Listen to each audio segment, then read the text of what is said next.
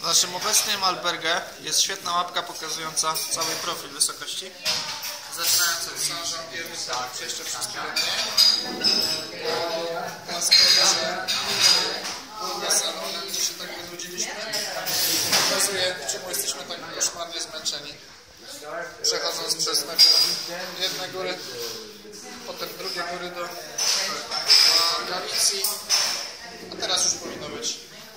co zamiast górki. A przy okazji jest taka ta wielka mapa tam od San Jean-Pierre de Port przez Loronia, Burgos, Leon,